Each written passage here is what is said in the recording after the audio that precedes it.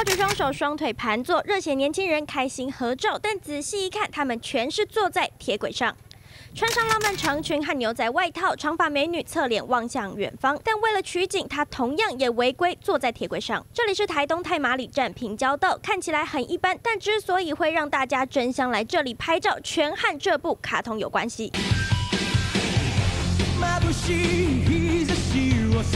因为相似日本卡通《灌篮高手》里晴子挥手和樱木四目相望的经典场景而爆红，但尽管告示牌就在旁边，游客还是不顾安危占据铁轨拍照。这样的危险动作让人看了忍不住替他们捏把冷汗。这超像，真的吗？嗯，很超像，很像那个卡动漫，就感觉一模一样。卡通场景实地就位在日本神奈川镰仓高校前站旁，吸引许多旅日游客造访。而近年爆红的台东太马里站平交道，不管是平交道火车经过，还是后方大海映衬的美景，都和卡通场景如出一辙。